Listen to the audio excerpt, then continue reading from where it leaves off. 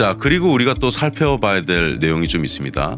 조셉 그립 뱅가드 IT 자문 책임자 이 뱅가드라는 업체는 암호화폐나 IT 관련된 업체가 되겠어요. 컨설팅 업체이기도 하고요. 신흥 자산 클래스에 대한 수요가 증가할수록 고객 위험 허용에 근거한 투자 조언을 제안을 할 필요가 있다. 이게 무슨 말이냐면은 디지털 자산 같은 새로 떠오르는 이런 자산들에 대한 투자하고 싶은 수요가 이제 증가할 수가 있는데 고객들이 어느 정도의 위험 허용 그래서 영어로는 customer risk tolerance라고 얘기합니다. 내가 고객인데 위험에 대해서 어느 정도 리스크에 대해서 감수할 생각이 있는 고객이야. 그러면 그런 고객들의 성향에 근거해서 투자 조언을 advice를 할 필요가 있다. 이 뜻이 되겠고요. 고객 선호, 그러니까 customer preference에 기반한 다양한 채널에서 차별화된 고객 경험을 제공해야 한다.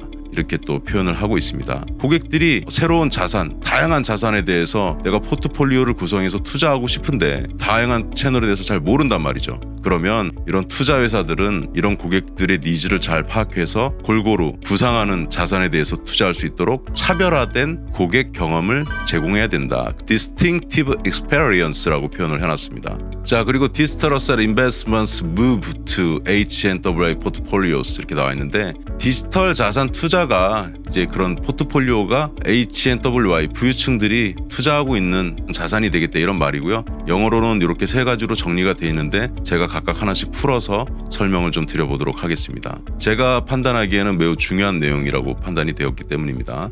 자, 암호화폐 및 상장지수 펀드 이렇게 나와 있습니다. 주로 투자하는 디지털 자산 중에서 암호화폐 및 상장지수 펀드가 중요하다 이런 뜻이 되겠고요. 모건 스탠리에서 이렇게 얘기했습니다. 비트코인 소유권을 가능하게 하는 세 개의 펀드에 대한 접근을 시작했다 또는 펀드를 런칭했다 이런 말이 되겠고요. 최소 200만 달러 이상의 자산을 보유한 고위험 허용 고객은 순 자산의 최대 2.5%를 비트코인 펀드에 투자할 수 있다. 200만 달러라고 하면 하면은 한화로 17억 원 정도 되겠네요. 그 정도 이상의 자산을 보유한 고객들은 2.5%의 비중을 비트코인 펀드에 투자할 수 있도록 모건 스탠리에서 이렇게 시작을 한 것으로 나와 있고요. 두 번째는 이제 스위스인데 BBVA 스위스는 private banking 고객에게 비트코인 거래와 보관 서비스를 제공하며 다른 암호화폐로 서비스를 확장할 수 있다. 아, 가장 기본적인 거래하고 암호화폐를 보관해주는 서비스를 우리가 제공을 하는데 다른 암호화폐로의 서비스로 확장할 수도 있다. 이런 말입니다. 자, 세 번째는 암호화폐 보관업체 NYDIG는 2021년 웰스파고, JP 모건과 제휴하여 mega bank가 제공하는 passive 비트코인 펀드 2종에 대한 보관 서비스를 제공했다. NYDIG에 정리된 비트코인 플랫폼이 협업에 힘을 실어준다. 이렇게 표현이 되어 있습니다. 그래서 중요한 거는 웰스파고 그리고 JP 모건이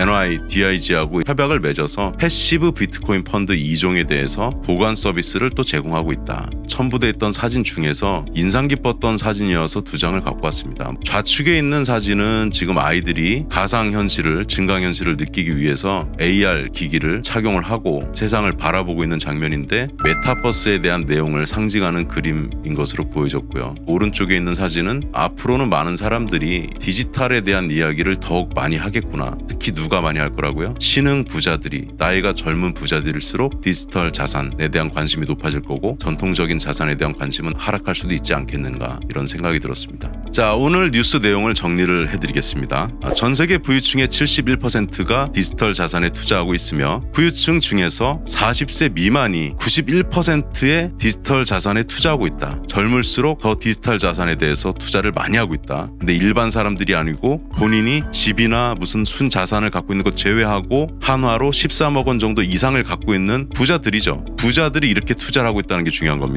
그리고 암호화폐를 가장 선호하고 ETF, 메타버스에도 관심이 많다. 부유층의 숫자로서는 미국, 일본, 독일 순으로 나타났고 한국은 조사된 25개 나라 중에서 13위를 기록했다. 한국은 사실 OECD 그 GDP 순위로는 9위에서 10위 정도를 왔다 갔다 하기 때문에 상대적으로 디지털 자산을 보유한 부자들 숫자는 조금 낮은 걸로 판단을 해야 되겠죠. 그리고 모건 스탠리, BBVA 스위스, 웰스파고, JP 모건 등과 같은 전통적인 금융 회사도 디지털 자산 사업을 이미 시작했다는 점이 오늘 뉴스의 핵심 요약이 되겠습니다. 여기까지 블록체인 인사이트 키웨스트였습니다. 감사합니다.